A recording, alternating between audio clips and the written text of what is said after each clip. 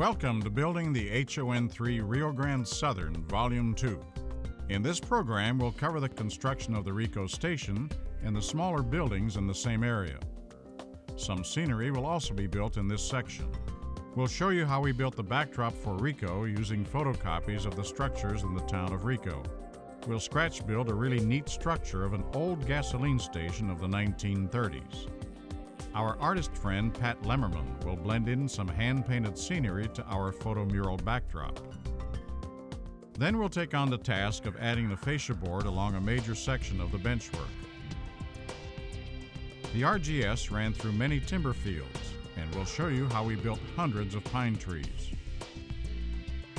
The town of Rico contained a number of great structures. Since space is limited in this section, we opted to use photos of structures found in the area as a backdrop for our town of Rico. A neat looking house was found in the area, and we'll scratch build that structure as well. At Ridgeway, the railroad built a seven stall roundhouse, and we'll show you how that was built, along with a turntable and the track arrangement in the area. Around the outside corner of the room leading to another section of the layout, we'll add the benchwork, fascia board, and the structures and scenery at Lizard Head. A bridge crosses over a small creek in this area, and we'll construct that as well. Then we'll also start construction of some scenery. Because we'll have structures across the tracks at Rico, we'll need to build a small road across the river, and we'll continue adding more scenery to this area. The freight station at Dolores was a long one, and we didn't have enough space to build this long and deep structure, so we used a photo of the prototype and scanned it into Photoshop.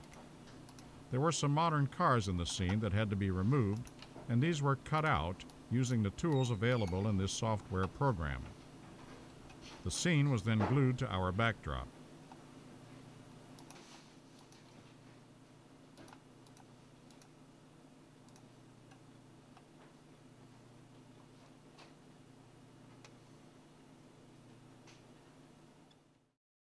Photos of structures at Rico and Dolores taken years ago were scanned into Photoshop, glued with rubber cement to poster board, and then cut out. These cutouts were then glued to the photomural backdrop. A number of the original buildings burned down over the years, so we had to use photos that were somewhat correct. We're back at our bridge installation before the big loop to Ridgeway. We've cut out the roadbed so a bridge over the creek can be installed here. Our bridge is at an angle to the joists, so when we add our abutments, they too will have to be at an angle. We've glued in one abutment and hold it in place with a clamp while we add the tie section constructed on a jig in the shop. The tie section must fit snugly between the risers and sit on the top of the abutments at each end. Scale 8x18s go under the bridge ends and sit on the top of the abutments. Okay, let's slide that tie section in place. We don't have to glue it because the whole section is built to tolerances that save us gluing the bridge to the abutments. We placed a long curvable ruler across the bridge to make sure the track is true with a roadbed at each end. We had to shim up the track at the left to make the transition perfect. Next, we're going to build some tram towers to support buckets that feed the mill at Ophir. We laid out a plan for the tower framework on some Homasote and covered it with wax paper. We've already cut some pieces to build the first tower. We will build two A-frames for each tower. Here is one side of the first A-frame. Here is one of the completed towers consisting of two A-frames glued together with supporting members. Notice there are both horizontal and diagonal braces on each side. Here are three towers of different heights as per prototype. Additional bracing is necessary as the towers get higher. The small white pieces at the end of each tower crossbeam were made from a piece of round plastic. A round rod was placed in a drill press and a file was used to cut a groove in the plastic. The tram towers were next glued into the scenery. We punched some holes in the plaster to set the towers straight. The shorter tower in the rear makes the tower appear farther away than it actually is.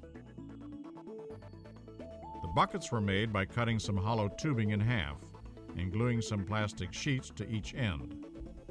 We glued the half circles to some thin plastic sheet, and when the glue set, we trimmed around the plastic sheet using the half tube as a guide.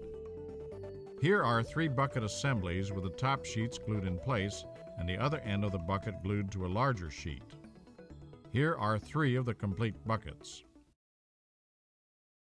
Jim is now adding the grade crossing that was a part of the Ophir area. We used some pre-stained basswood strips fastened to the ties with tacky glue. The wood stain leaves the wood weathered. We'll add some dirt to the tops once all the pieces are glued in place.